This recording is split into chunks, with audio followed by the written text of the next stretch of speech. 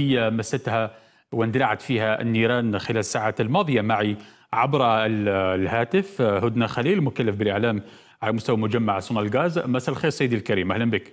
مساء النور سيدي الكريم وكل مشاهدين قناتكم الموقرة شكرا. نبدأ بداية في وضعية شبكة الكهرباء والغاز خصوصا في هذه المناطق التي مستها ألسنة النيران. نتحدث عن ولاية خنشلة أساسا وباقي المناطق الأخرى. ما هي الوضعية حاليا وكيف تتعاملون؟ مع هذه المخاطر. وكذلك سيدي الكريم اذا الوضعية في ولاية خنشله واليوم وفقط في دوار الربيعي يعني بمنطقة شيليا بمحاذاة دائرة بوحمامة بولاية خنشله وقع فيها يعني حريق للغابة وأول عملية لمؤسستنا وكان فيه قطع الغاز كإجراء احترازي بالدوار الربيعي لمحاذي لبلدية شيليا كما قلت. وين وقع؟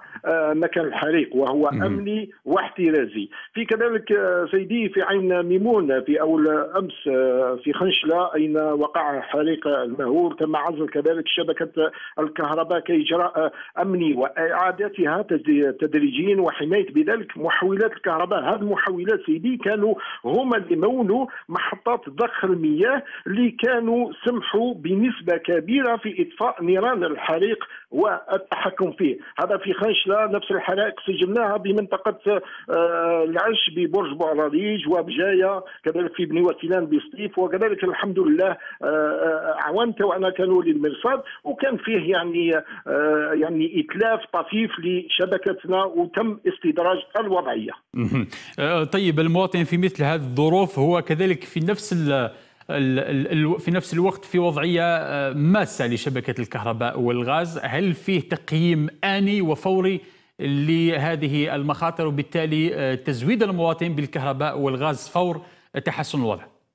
والله سيدي الكريم إحنا le défi تاعنا والتحدي تاعنا هو إرجاع اولا كعملية احترازية تأمين المنطقة وتأمين المواطن وممتلكات المواطن كذلك. ثانيا آه نزودوه في أسرع وقت بطاقة الكهرباء نشوفوا أنه ظروف يعني الحرارة قاسية آه ما يستغناوش سواء كان اللي عنده مكيف أو اللي ما عندوش حتى باش يشرب الماء وفي المناطق هذه المعزولة وغيرها باش يسقي وباش يرعى وكل شيء. هذه إحنا كإجراء أولي الأولوية هو إرجاع الكهرباء للمناطق المتضررة.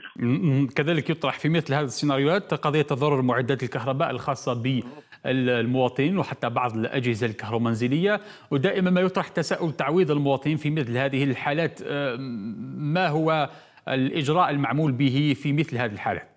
شكرا سيدي وهو سؤال جد مهم. وحنا نقوم بعملية اتصالية واعلاميه للمواطن في هذا المجال. لما يكون فيه ضرر في شبكه ويكون فيه ضرر يعني مباشر لمعدات المواطن سواء واحد يفسد له باش يعني نبسطوا المفهوم يفسد له هذا climatiseur يفسد له les télés ولا معدات اللي تشتغل بالكهرباء.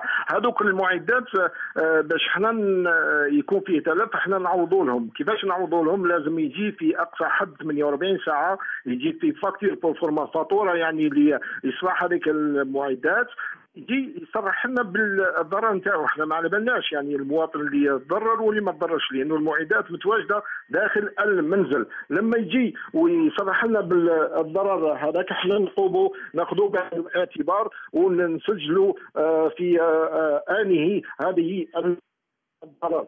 كذلك يقدر يتقدم المواطن في أي وكالة تجارية أو حتى مديرية التوزيع المتواجدة عندنا 378 وكالة تجارية وعندنا 58 مديرية توزيع يتقدم بالملف تاعو. وحنا ناخذه بعين الاعتبار كل هذه لأنه الشبكة تاعنا مؤمنة. يعني قلت 48 ساعة ساعة لأنه إحنا عندنا سبعة أيام مع وكالة التامين باش نوضعوا الملف ويكون فيه تأمين مباشر للمواطن.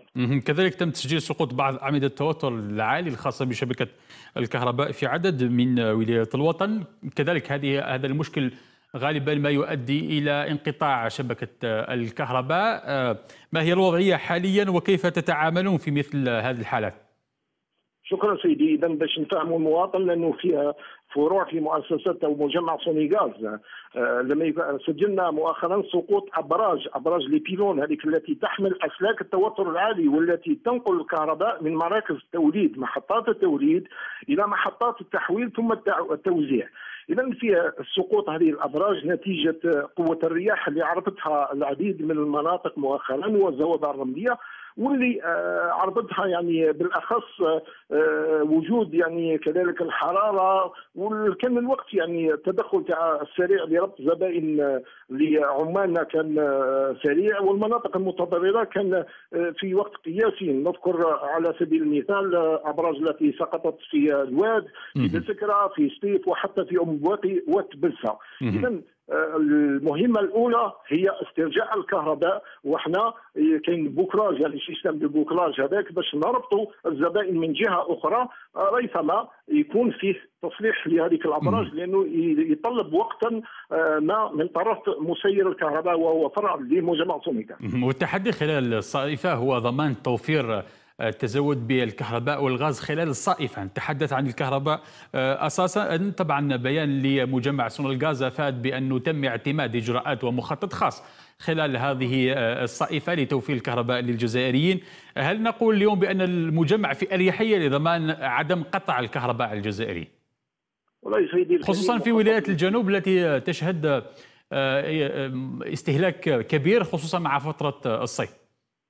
والله سيدي الكريم بكري كان يعني ولاية الجنوب هي اللي تستهلك أكثر. دوكا ولات الجزائر كامل كل مناطق الجزائر تستهلك صحيح. أكثر وأصبح الاستهلاك أو ثقافة الاستهلاك للمواطن الجزائري أصبحت عامة لا يخلو منزل من مكيف ولا تخلو ولا تخلو يخلو بيت من la machine وهذيك والرافيكان وغيرها لأنه هذوك les moteurs هذوك المحركات تاع la machine نحن ما عندناش أو المواطن ما عندناش وحنا في حملتنا التحسيسية لترشيد الكهرباء ركزوا خاصة على هذوك les moteurs اللي في ال démarrage تاعو لما يبدأ هو يستهلك سبع خطرات الاستهلاك العادي لهذا. كل هذا إحنا آه، تفطنا له يعني منذ القدم وكل سنة فيه يتم وضع على مستوى صدى شركة توزيع مخطط خاص لضمان نوعية واستمرارية التوزيع بالكهرباء. ويكمن هذا المخطط في اولا صيانة وتأهيل الشبكة والمعدات المتواجدة يكون هذا قبل آه، يعني قدوم الصيف ويكون فيه كذلك بث وبعث استثمارات جديدة آه، سواء كان في المنشآت أو المعدات كالمحولات والشبكة الجديدة لهذا آه، السنة وتحضير الصيفه على سبيل يعني كالكو شيفر يعني الأرقام فقط فيه 767 مركز توزيع جديد وفيه 2704 كيلومتر من الأسلاك وكوابل التوزيع آه، اللي رافقت آه، هذه المعدات وتم وضعها كل هذا لضمان نوعية حسنة وكذلك التموين بشكل عام باش نقولوا للمواطن المجمع في أريحية توفير الكهرباء خلال الصيفه؟ والله إحنا كشركة توزيع الكهرباء والغاز صادق إحنا رانا حتى الآن في آه، خدمة الزبون وفي أريحية فيما يخص التزويد. والدليل على ذلك أنه فيها مشاريع جد مهمة سواء كانت آه، هذيك المنشآت السكنية اللي رانا حتى الآن يعني برنامج الدولة 100 ألف سكن منين جاوا هذو 100 ألف سكن؟ يعني منين جاهم الكهرباء والغاز؟ لم يكون فيه تخطيط ويكون فيه صحيح. مرافقة لهذه المشاريع. نعم هذا المرافقة لهذه المشاريع وفيه أريحية فيما يخص التزويد. ممتاز. آه نختم بنقطة آه أخيرة بعجاله لو سمحت فيما يخص الذين لم يسددوا آه، في الديون تابعه المؤسسة الذين لم يسددوا فواتير الاستهلاك الكهرباء. طرح سابقا سيناريو القطع. كيف ستعاملون؟ ما هو نداءكم المواطنين؟ كذلك الالتزام بتسديد الفواتير. والله إحنا ما زلنا ماشيين يعني في آه، يعني توصيات آه، الحكومة في المجال بعدم القطع لكن هذا آه، رغم ثقل الديون العالقة لدى الجزائر فقط حتى الزبائن متوسط وعالي التوتر في مؤسستنا صداق لا تزال وفي مهامها وهي السهر على توزيع الكهرباء والغاز بنوعية وجودة عالية، لكن هذا لا يمنعنا بمباشرة عملية التحسيس لتسديد الديون عبر ال e-payment التسديد الإلكتروني ومكاتب البريد والوكالات التجارية اللي راهي مفتوحة. إذا كان فيه تسديد ديون في أريحية مالية ولما يكون فيه أريحية مالية لمؤسسة يكون فيه استثمار ولما يكون فيه استثمار يكون فيه نوعية حسنة في تزويد بطاقة الكهرباء أو الغاز شكرا لك آه، جزيل الشكر لك هدنة خليل مكلف بالإعلام على مستوى مجمع سونلغاز على كل هذه الإيضاحات. فاصل